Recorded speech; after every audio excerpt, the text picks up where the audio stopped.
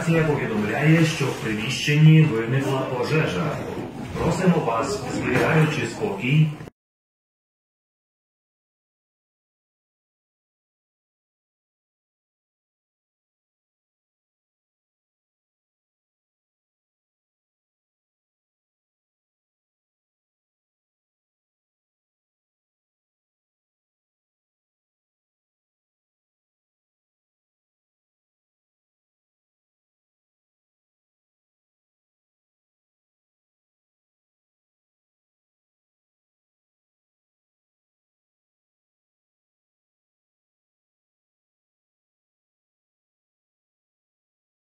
Я старший охоронник е, торгового центру «Епіцентр».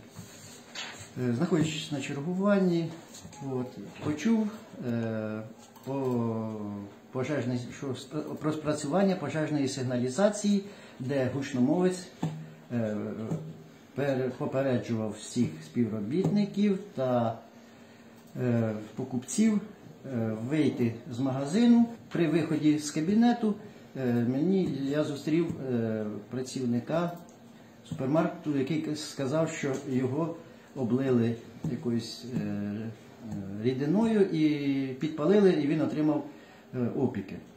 Я вийшов подальше і побачив, що е, горять е, килимові вироби. І нажав тривожну кнопку сигналізації.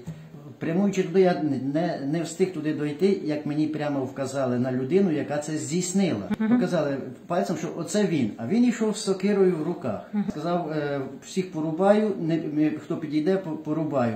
Ми, е, ми з, з начальником і ще одним охоронцем почали його переслідувати уговорами, намагалися його зупинити, але ж він все-таки намагався втікти. І вже на калітці, на калітці він е, рубанув начальника сокирою.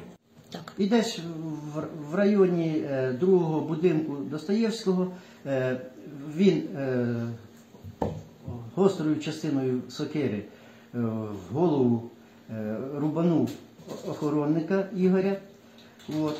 І е, потім замахнувся е, на мене, мене в спину, і бушлат мій е, запутав е, сокиру, і е, лише потім ми могли е, вивернути йому руку і вирвати цю сокиру і затримати його.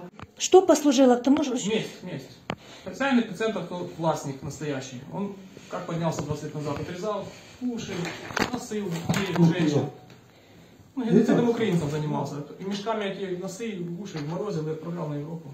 Таким образом он зарабатывал деньги. Таким образом он поднялся 20 лет назад. С этого я отомстил ему за его преступление. Ви з ним знайомі особисто? Я его видел, да. Я его знаю. Ну, сейчас я не знаю, как он выглядит. Он уже пластику сделал себе, скорее всего. Угу.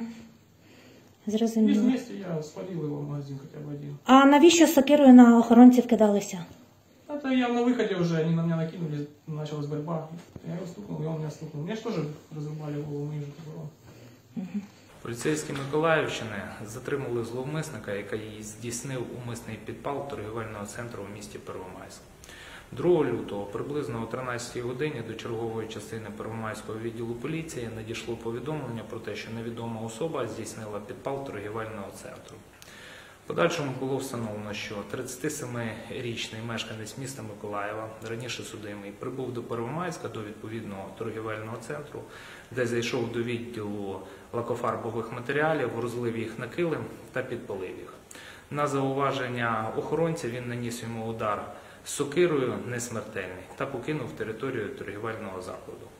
Подальшому він був затриманий працівниками поліції охорони, а також охоронцями торгівельного закладу.